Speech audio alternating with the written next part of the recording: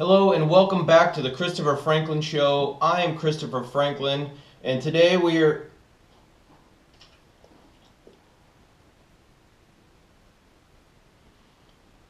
To everyone, this is my dog Creedence. She kind of uh, rules the roost around here, you could say. And uh, I guess if Creedence wants to be on the show, Creedence is going to be on the show. So, anyways, where was I? Uh, today we are talking about 9mm versus 38 special. The uh, 38 special and the 9mm are both the exact same size round. However, the casing, as you can see on the uh, 38 special, is much larger than, much longer than the casing on the 9mm. And because of that, everyone assumes that a 38 special round is much more powerful than a 9mm round. However, let me give you a little history of the 38 special.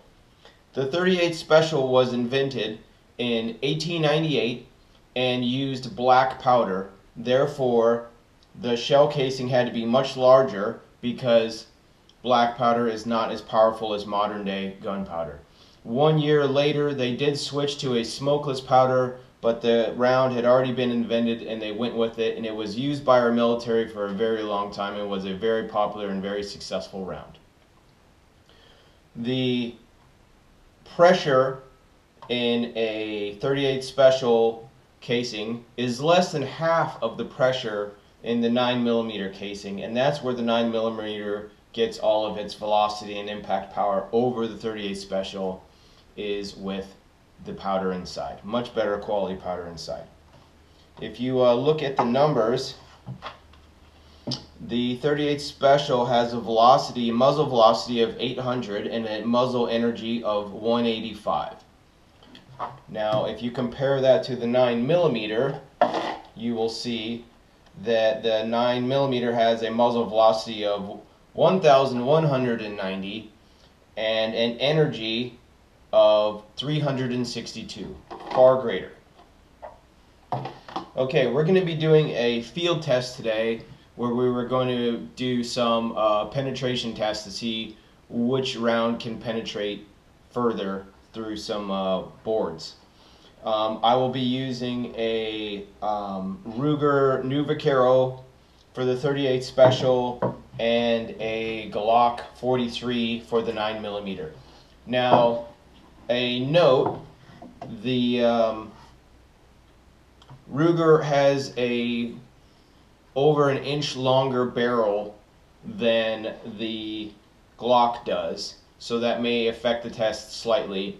And also, the 38 Special is in 130 grains, and the 9 millimeter is in 115 grains. That is the closest uh, grain count that I could get between the two, so that is what we're going with. So, uh,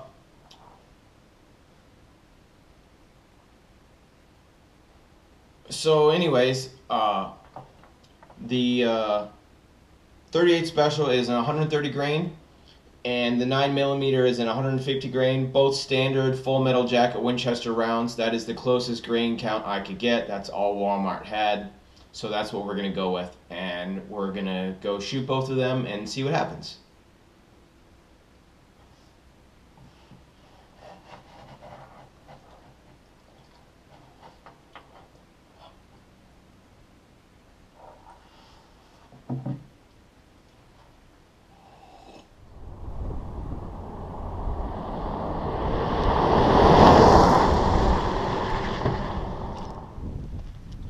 Okay, we're in the field for the penetration test of the 9mm Luger versus the 38 Special. We're going to see how many boards uh, each round will go through. I've constructed this.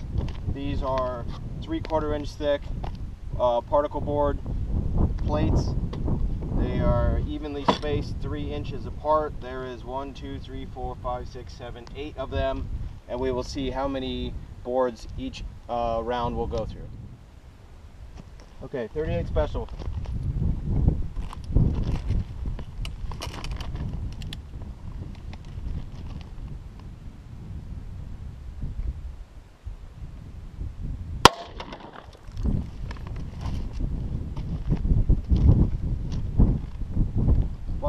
Impressive. I can already see the bullets laying right here. A little hot. Here's the bullet right here, landed on the table right next to me. Let's see how many boards. One,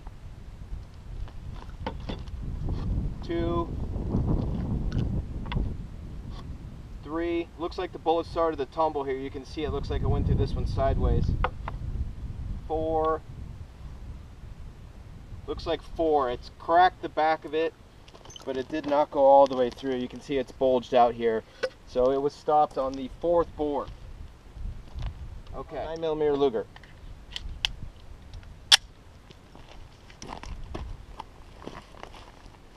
I'm gonna go lower this time.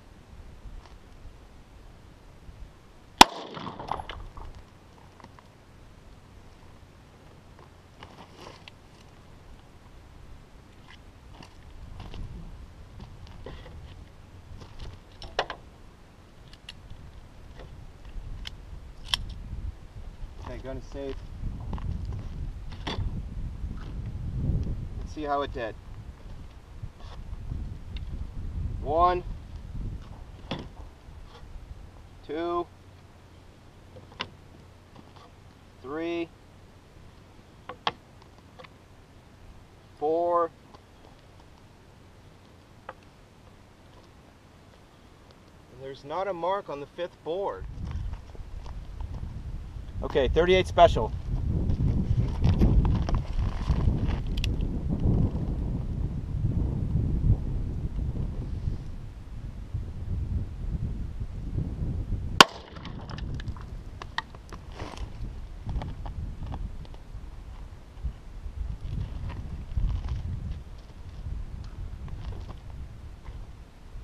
One, two, three, four, five. Wow. And there's a small mark on number six. Okay, nine millimeter. I'm gonna go higher with the nine millimeter.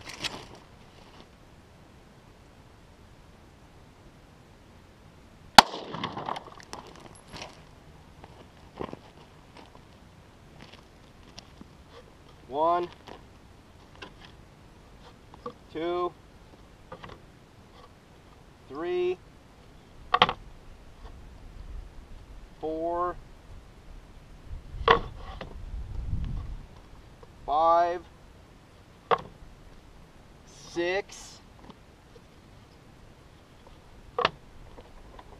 seven. Wow. Okay, so that time the 9 millimeter made it through seven boards. Okay, so as you can see, the 9 millimeter won both of the penetration challenge tests. The first one, the 38 special, went through three and a half boards. The 9 went through four.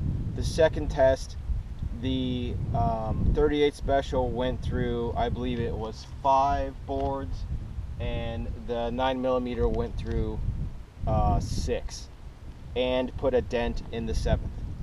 Um, I was able to find and recover both of the um, 38 special bullets. They are barely damaged at all. Um, I have not been able to locate any of the uh, 9 millimeter ammo. I'm uh, guessing that maybe because the higher velocity they broke apart and that's why I can't find them. But as you can see, even though the 38 special was a slightly higher grain and had a over an inch longer barrel than the 9 millimeter, it still couldn't compete with the uh, velocity and power of the 9 millimeter. Thanks. Thanks for watching the Christopher Franklin channel. Please stay tuned for our next video where we find out what really happens when you shoot someone through a peephole.